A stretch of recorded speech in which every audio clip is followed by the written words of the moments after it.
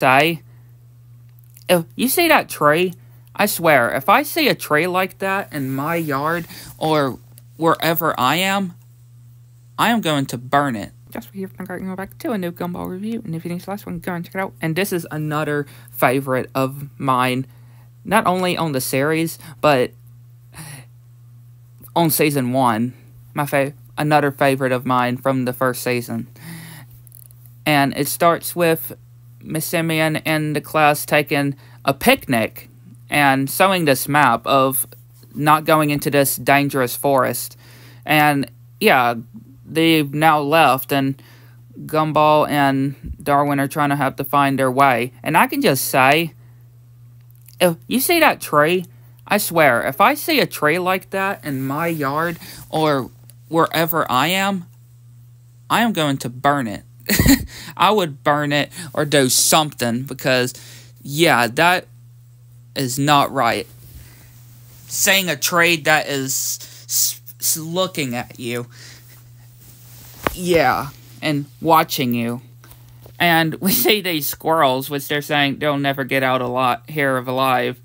We'll find, we'll fade on their corpses. Yeah.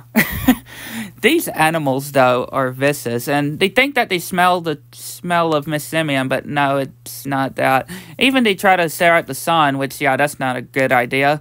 And they run past where the sign says the picnic is, and Darwin is given offering some snacks from his lunchbox to Gumball, but yeah, they're talking about the circle of life, and the wrong way of the circle of life and trying to chew on a rock, which saying that it's a chicken nugget, but no. And then they say a dare. Hopefully it's not Bambi or Bambi's mom. And they bump into it and yeah, this is a weird creature. Which even more weirder is when Darwin just slaps just slaps the butt cheeks of this animal and it and it and it flinches together. And it just flinches and squeezes together. And yeah i don't know what kind of creature this is. Or i don't know what kind of creatures these are in this forest. And then they see a caterpillar which yeah darwin is just telling gumball not to eat it because yeah the caterpillar is even crying which they're telling it farewell but it gets taken away and yeah, getting eaten by different creatures. And I just love Gumball and Darwin's reaction or face, and even more and more creatures. And Darwin is like, that was horrible. and yeah, they're trying to make a fire, which ends up burning Gumball's hands. And yeah, it ends up on the wood. But when they high five, it the right, it starts storming, and and meanwhile at the picnic, Miss Watterson is sewing one, two, three, four, five, six buns of a hamburger. And yeah, we get a banana joke with the banana saying, Oh, I split myself. Which the banana, the bananas on the show are really weird, I can just say, but very funny. And yeah, Darwin just is looking very vicious and actually ate Gumball's clothes. Literally. And now Gumball is naked.